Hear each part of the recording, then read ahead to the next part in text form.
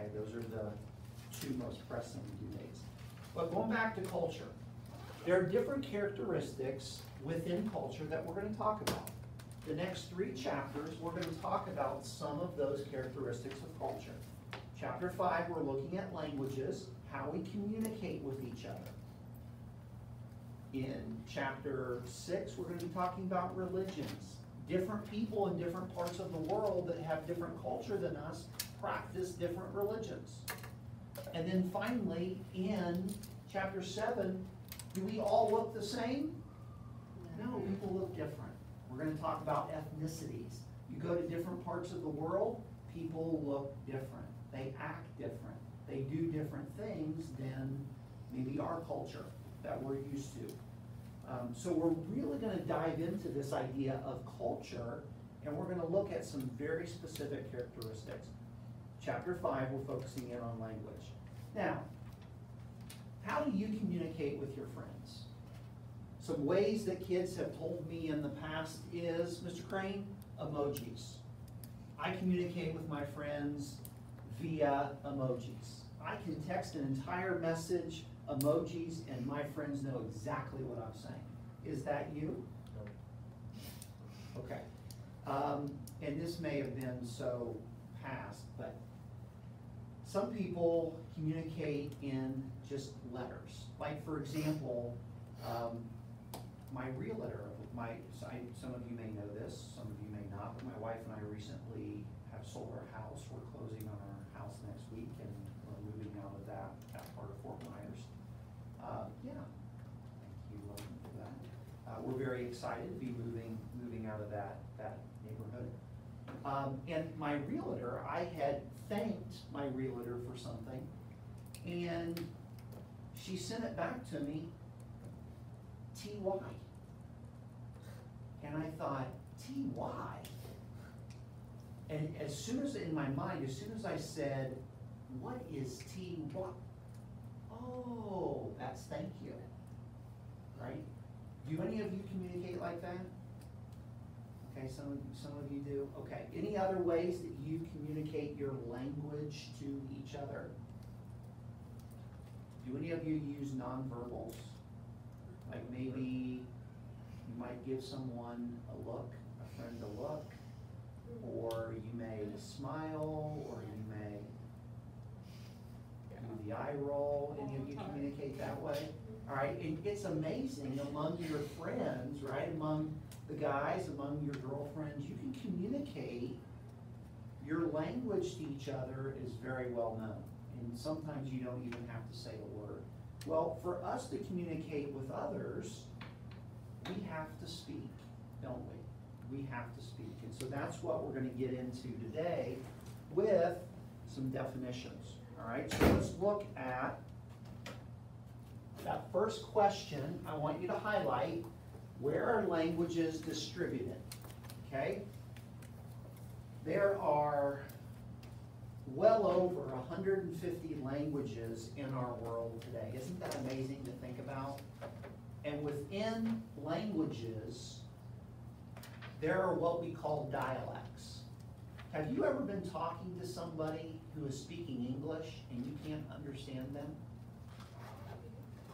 When I lived in Ohio, no, this is no, no joke, there was a very, very nice Christian man. He was from deep in the heart of Kentucky. And he was good friends with my dad, but whenever he would, um, talk, I, I had a hard time understanding him. And he always used to say, um, there is a fir in them hills. And I never understood what he was saying. I said, fur, you mean fur of an animal? And my dad looked at me and said, no, son. He said, fire. But he would always say, fur, there's a fur in them hills. Well, he was saying fire, but I was, he, to, in my ears, I was hearing as, as a boy, fur, you know? Um, some people in different parts of the United States, instead of saying creek when they talk, they say, I'm going down to the creek to go swimming. All right, have you, you know what I'm talking about? People say different words and they're communicating the same thing, but they're dialects, they're different ways of saying the English language. And I'm sure as you get older and you get out on your own, you're gonna encounter things like that. Have you ever heard, um, the, the southern drawl? When people talk, it, it's, it sounds a little different. If you go up to the Midwest, Minnesota and Michigan, you know, as they say a sentence, they may end it with a, you know? It depends on where you're at in the United States, but language sounds different, okay? And those would be considered dialects. So let's look at some of the definitions. Go ahead and highlight these. We're gonna start with uh, Ginger. I'm just gonna have you read the definition, and then we'll jump into some of these. Define language. A system of communication through speech, a collection of sounds that a group of people understands to have the same meaning. Very good. So it's a collection of sounds, all right? It's a system of communication. Official language. Cap? Language adopted for use by the government for the conduct of business and publication of documents. Okay, so, for example, many of you later this year, potentially even next year as sophomores, are gonna be getting a very important document, aren't you? What is that document? Driver's license? Exactly, yeah, it's not really a document, but it's a small document, right? Many of you are gonna be turning fifteen, you're gonna be able to get your driver's permit, and then next year as sophomores, the all-important driver's test and driver's license, right? It's a pretty big milestone in, in your young lives. Um, that is all in English, all right? Now, this is very interesting at this point. English is not the official language of the United States, but it is the official language that are on all documents. For example, if you open a bank account, if you were to go to BBT Bank, or you were to go to Fifth Third Bank or Bank of America, and you were to open a checking account, they would give you a document that you had to sign, and that whole document would be in English. If you went and purchased a car, you turned eighteen years old, and one of the first things you wanted to do was go and purchase a car at a Chevy dealer, or a Maserati dealer, or a, a BMW dealer, okay? You would go and you would get that car, and you would have to fill out a bunch of paperwork. That language on that paperwork would be English. That would be an official language. They're not gonna give you paperwork in German or in French, because you would have no idea what it was saying. Now, um, language family. All right, James? A collection of languages related ancestral language that existed long before recorded history. Okay, good. Language branch. Logan? A collection of languages within a family related, related through a common ancestral language that existed several thousand years ago. Okay, language branch, and then, uh, Steph, how about language group? A collection of languages within a branch that share a common origin in the relatively recent past and display many similarities in grammar and vocabulary. Good. Okay, on page one forty-four, one forty-five, I want you to highlight figure five three and figure five four. Okay, on page one forty-four and one forty-five, figure five three and five four. Now, you're gonna wanna really pay attention to both of these charts, all right? College Board loves using these on um, their AP exam, and I love using this throughout the year on the chapter test. Now, what are, what are we looking at? First of all, does everybody see everything below the line? You see the line there on one forty-four, one forty-five? I'm giving you a huge help. You don't have to worry about the things below the line. Okay? I, I don't, I don't care about that. What I do care about is everything above the line. You see kind of the tree on one forty-four and one forty-five? Don't worry about things below the line. Above the line, I want you to focus on. Now, do you see the different trunks? The different trunks are the part of the tree where the branches and the leaves come off of. So, by looking at this here, what would be the largest trunk? Maddox? Indo-European. Okay, Indo-European, does everybody see Indo-European? Okay, that is, um, the trunk, all right? So you could just put, kind of by language family, you could kind of put in parentheses by language family, trunk of the tree. Okay, so this is the base on your definitions, on your definitions where you have language family, just kind of the analogy that you could use would be trunk of the tree. So what would be some of the other language families? Maddox listed Indo-European, what would be a couple others? Peyton? Sino-Tibetan, Okay, yep, Sino-Tibetan, what else? Austronesian, Austronesian, yep, what else? Korean, Okay, yeah, Korean, right, Japanese, you have Austroasiatic, Altaic, Dravidian, Afroasiatic, do you see the, the language families? Those are the trunks. Now let's go up each trunk. All right, let's go up Indo-European. What would be one of the branches on Indo-European? Romance, Okay, yeah. So you would go up and you would see romance, right? So the branch, the branch of the tree is gonna be number four. On your definitions where you see it says language branch, I want you to put kind of the analogy, that's the branch of the tree. Okay, so the branches within the language family, there are going to be different languages that are spoken that are still within that family. And then finally, we get to number five, the language group. What do you think the language group would be? What analogy of the tree could we use? the leaves, The leaves, very good, very good. Why don't you put that by number five? That's the analogy that we can use. So, to go on what James said, within the romance branch of the tree, what would be some of the leaves that would make up the romance branch? Jackson? Italian, Okay, Italian, Portuguese. Portuguese, they sound very similar, by the way. Spanish, Spanish, good. Romanian, Romanian, okay. What else? Haitian Creole, Okay, good. Sounds very similar to French. Steph, French, okay, yep, good. Um, so you get the idea, right? You get the idea. So you need an analogy to kind of help you in your understanding. Now take a look at figure five four real quick, okay? The sentence says, the chart below shows the percentage of people who speak a language from each major family.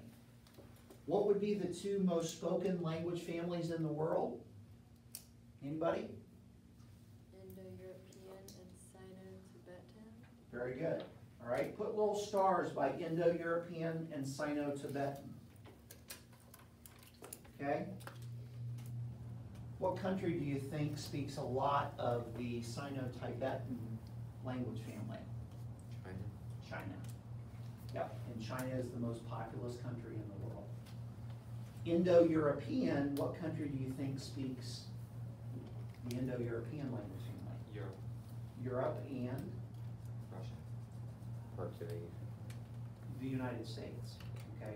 English is the most spoken business international language in the world, followed very closely by Mandarin and Spanish. But English, if you wanna be in international business, the number one language that you're learning, if you don't already know it, is English. Because most international business flows through the United States of America. So you have to learn English. And that's why many scholars around the world that don't already know English learn English first, even above Mandarin Chinese, even above Spanish. All right, so very, very important, both of those. All right, let's get into number six. All right, and let's look at these notes. I'm gonna read, I'm gonna read these. Feel free to update as we go through this. Um, By the way, let me just ask you a general question, because I put a lot of notes, I saw a lot of you adding to your notes. What do all of these have in common? What are they? They're language Branch, tree, families, all right? I want you to put, all of these are language families. They're trunks, they're tree trunks.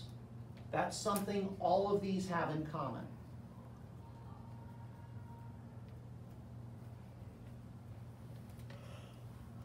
They are language families. Which means what? If they're language families, what do each of these categories have underneath them? They each have, different roots, or some sort of root. Okay, well, you have the trunk, but then what comes out from the trunk? Branches. They have branches, and then what's on the branches? The trees. So what this means is, each of these groups have a lot of individual languages underneath them, don't they? Don't they? So when you start thinking about language, there's a lot of languages in the world. A lot of languages, and that makes humanity very unique and different. Language makes humanity very unique and different. So let's look at some of these. The, the two largest are first. Indo-European, the language family, underneath Indo-European, you can look here. You have all kinds of different languages, don't you? If you look at the Indo-European trunk, just look at that. Look at all the branches. Look at all the individual languages. Those are, that represents millions and millions of people, class. Millions of people, tens of millions of people speak Indo-European languages. Some of the groups would be Germanic, Romance, Balto-Slavic, Indo-Iranian, okay? These are just some of the language branches within the language family, okay? And then within these branches, you have individual languages. Like we just talked about Romance, you have Haitian Creole, you have French, you have Spanish, you have Portuguese. I mean, it is, this is your first exposure to it, this is not my first exposure to it, but when I first started learning how many languages are in the world, my mind literally blew. It is, it is fascinating to think about how many languages people speak in the world. I knew a kid in high school that spoke eight languages fluently. Eight. You know, you can go to university, you can go to college and major in world languages. It's called linguism, being a linguist. And you actually can go to college and study world languages and get very lucrative jobs just because you speak multiple languages. Businesses will hire you to travel all over the world to speak Arabic, to speak Japanese, to speak Mandarin Chinese. I mean, it, it's, it's fascinating, and it's a big part of culture. Sino-Tibetan, twenty-one percent, a little over twenty percent of the world speaks this, primarily in China, in parts of Asia, do we see Sino-Tibetan? Okay? Um, Austronesian, where do we see this? Well, you know where Indonesia is? What part of the world is Indonesia in? South, Asia. East Asia. South, East Asia. east, Southeast Asia. Okay, so parts of Southeast Asia are going to speak languages within this family. Now, is Austronesian as large as Sino-Tibetan or Indo-European? No. So what does that tell us? It's mostly spoken in the region that's in. Exactly. Austronesian language family is more regional. It may not necessarily be global, like Sino-Tibetan or Indo-European. It's more regional, okay? Indonesia is thousands of different islands. But as you get outside of Southeast Asia, Austronesian languages probably are not spoken as, as frequently. All right, let's look at Austroasiatic. Okay, where's Vietnam? The Vietnamese people. Southeast Asia. Southeast Asia. Again, this is going to be regional. You get outside of Vietnam and the languages in uh, Austroasiatic, okay, and then the individual languages probably are not going to be spoken a whole lot. Now, let me ask you this. People that speak languages within the Austronesian language family, people that speak languages between the Austroasiatic language family, would they be more pop culture or folk culture? Cool. Absolutely folk culture, okay? Absolutely one hundred percent, okay? Because the only way you're gonna learn Vietnamese is if you study Vietnamese, if you go study abroad in Vietnamese for six months, or your neighbor is Vietnamese, and you say, you know what? I wanna learn Vietnamese from you. Will you teach me? I mean, if that's a life goal of yours to lose, to, to learn Vietnamese, that's awesome. But that's not very high up on a lot of people's lists. That's a telltale sign right there, that probably is a folk culture, okay? Very regional, not, not global. All right, let's look at Thai Kadai. Now you're getting even smaller, right? Where's Thailand? Southeast Asia. Southeast Asia, again, so you have a lot of language families, one, two, three, count them, that are specific to Southeast Asia. A Lot of different languages. Japanese, well, Japan. Japan, right? Japan, very, very specific. Have any of you ever tried writing Japanese or uh, Mandarin Chinese? Have you seen the symbols? Um, before this chapter is out, I'm gonna show you Japanese and Chinese symbols. Um, very difficult to write, okay? And they actually, they write differently than we do uh, in English. When we write in English, we write from what side of the page to what side of the page? Left to Right, right. Yeah, left to right. A lot of world languages, when they write, it's gonna blow your mind, they write right to left. That would be very different for you, wouldn't it? They start on the right side of the page, they write right to left. Okay, everything you've ever learned in writing, you indent, you start on the left, and you go to the right. So, your mind would have to get used to, if you learn some of these languages, how to actually write it, because writing it is different than saying it. Everybody, everybody knows that. All right, so let's, uh, let's keep going, we're doing good here. We got a lot of, a lot of others. Korean. Okay, help me here, Korean is Korea. Korea, the Korean peninsula, all right, North and South Korea. Korea would be in what part? North. Maybe like north. Or just. It would be in East Asia.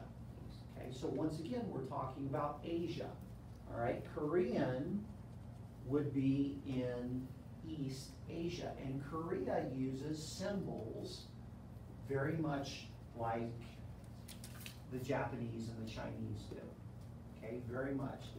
Um, some people today, kind of making a reference to pop culture, will get different Chinese symbols or Japanese symbols as a little tattoo.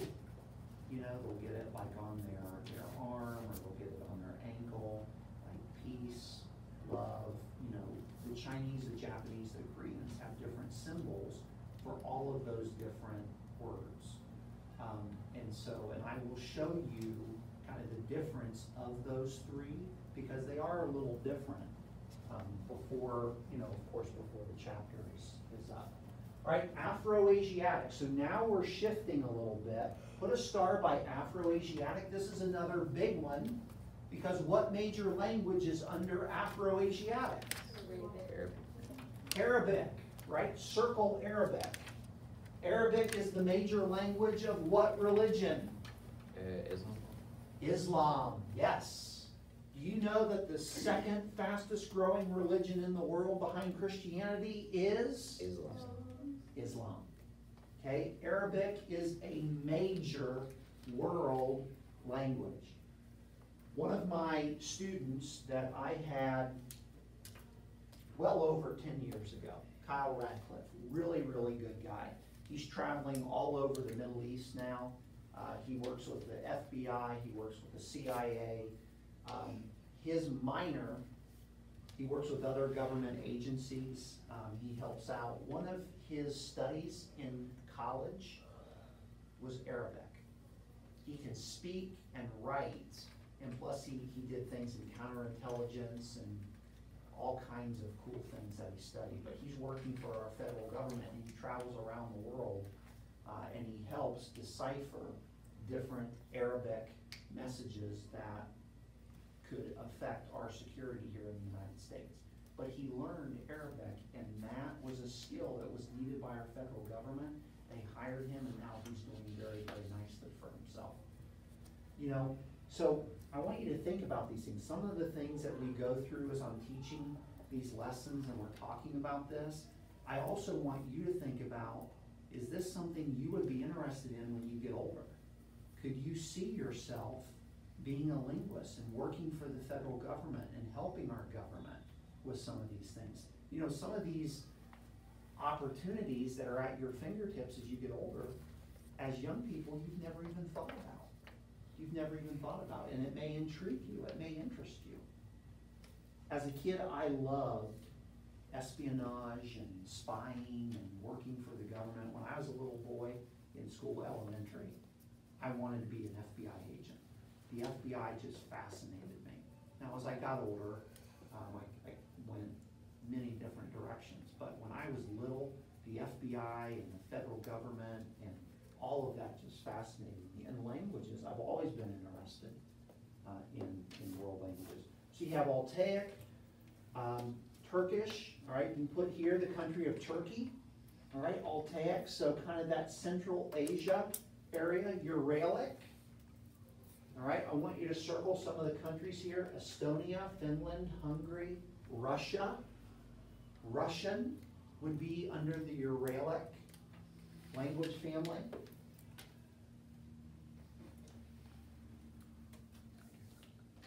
Where would the last three be focused on? What continent? Africa? Okay, the last three you may wanna make just a- like a little caret or a little note off to the side. K, L, and M are all talking about the continent of Africa. The Niger Congo, Swahili would be the major language of the Niger Congo. The Nilo-Saharan, okay, Central Africa, Northern Africa, and then Khoisan, all right, would be more in the south. Under Khoisan would be South Africa. Um, There's a language where they make clicking sounds, okay? That would be under, under these three, so very, very interesting. Different parts of the world where you travel, um, you're gonna see this. Now, turn the page real quick, page one forty-six and one forty-seven. I want you, if you would, just to highlight figure five five. Okay, figure five five.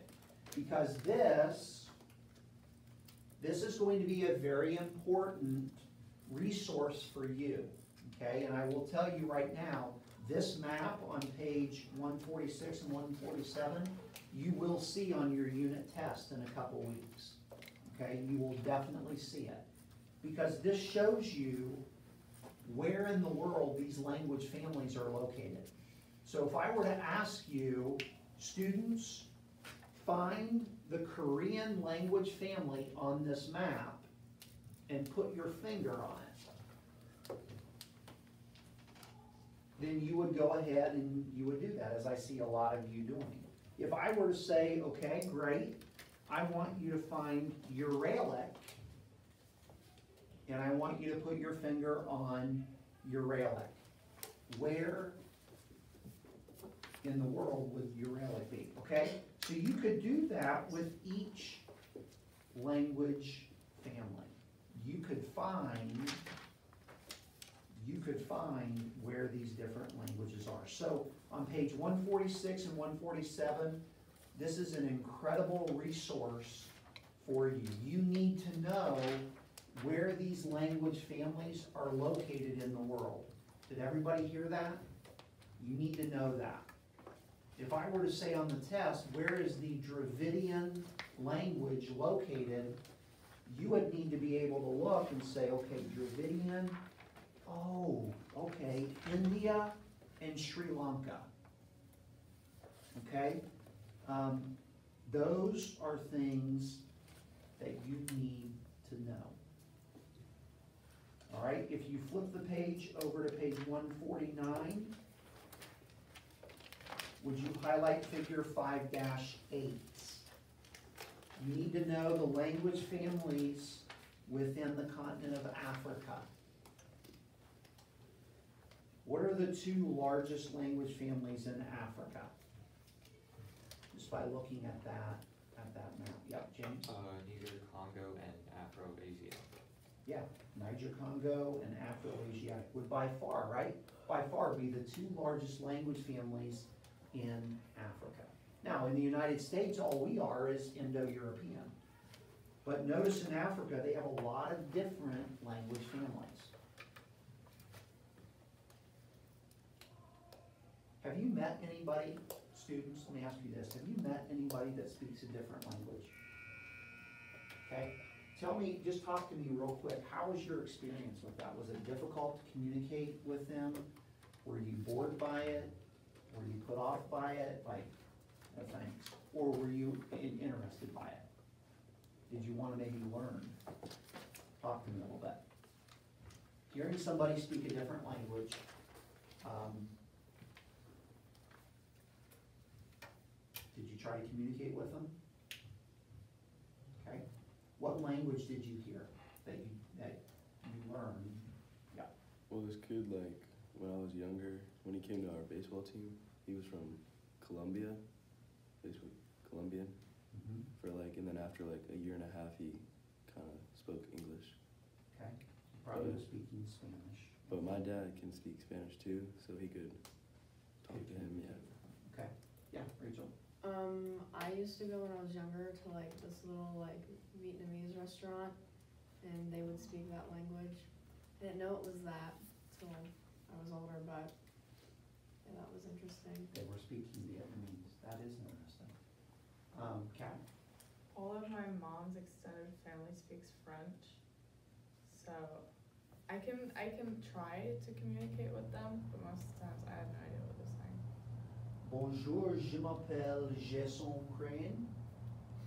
That's pretty much all I got. But I basically said, hello, my name is Jason Crain. I actually, in, in high school and college, I took French. Um, that was the extent of it. Um, my high school offered Spanish, French, and German. So, um, I, I took, I ended up taking two years of French. Okay, um, so let's look at, at uh, key issue, key issue two here.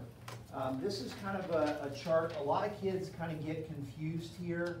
Um, So you can kind of just fill this in. I know some of you may not have understood this, but we're talking about why is English related to other languages? So what we're focusing on is the Germanic branch. Okay, so the Germanic branch falls with, within what language family? Indo-European, Say again? Indo-European. Indo-European. Okay, so the Germanic branch is a branch of the tree. It falls within the Indo-European tree trunk. So within the Germanic branches, we have two kind of sub-branches. Have you ever noticed on a tree you have a branch and then like little smaller branches that come off of it and then it has leaves on it? Kind of visualize that in your mind. The main branch of the Indo-European trunk would be Germanic branch, but off of that you have little tiny branches, all right, which would be the West Germanic and you have the North Germanic. So within that, the two major ones in the West Germanic would be German and English. Now, does anybody in here know any German? Have any German background or know some German? All right, give it a shot. Uh, ich haben Wasser. Ooh, what's that mean? Uh, I have been drinking water. Okay. It's random, I know. All right, it's random, but I like it. I like random. All right, anyone else know any German? No German, okay. Uh, sprechen Sie Deutsch?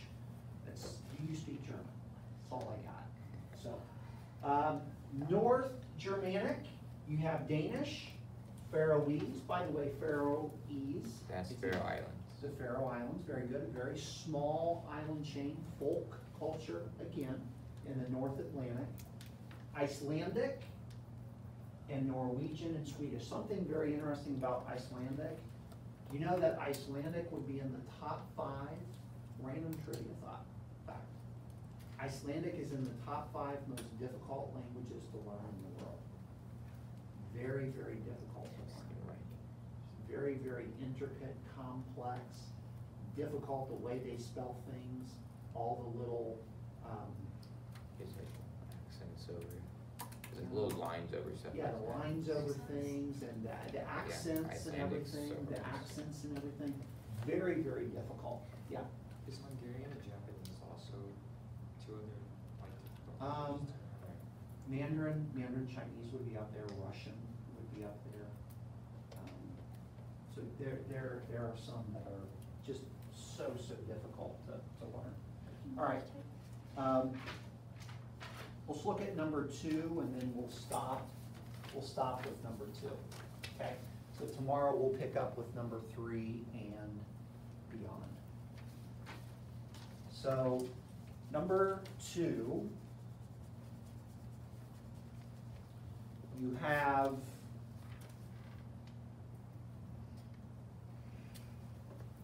the Indo-Iranian branch. Now, the Indo-Iranian branch is also within Indo-European, right? So Indo-European is the trunk. Indo-Iranian would be the branch, right? It would be the branch. So languages, the Indic group in the east would be languages of India, Pakistan, and Bangladesh. Those countries would be specific with the Indic group within this branch. There's over four hundred and thirty-eight languages spoken in India. We have one main language in English. All right, in the United States. So depending on what region of India you go to, you're more than likely gonna have a different language spoken, a different dialect spoken. Official languages of India, Hindi and English. Twenty-two scheduled languages found there. Hindi spoken in many ways, but only written one way. Devanagari. Very interesting that you see official languages in India. What's one of the languages? English. You know the most common language in India would be Hindi. That's the most common spoken language. In all the major cities in India, New Delhi, um, Mumbai, some of the major cities in India, Hindi is, is the spoken language, but English is also spoken. You go over to the western part, the Iranian group found in Iran, Southwest Asia, Central Asia. The most common language spoken in the western group would be Persian. Persian is the official language of Iran. Yep. Pashto would be the official language in Afghanistan. Terrorist groups like Hamas, uh, the Taliban, Al-Qaeda that operate in Afghanistan speak Pashto, right? It's a form of the Iranian, Indo-Iranian branch. Kurdish is used by the Kurds in western Iran, and all is written in Arabic. So the number one written language within the Indo-Iranian branch would be Arabic. Many of these people that speak Persian and Pashto, Pashto also speak, um, hang on, hang on. They also speak Arabic. One of the amazing things is a lot of students around the world, when they look at American or Western students, many students around the world can speak more than one language. They can speak two or three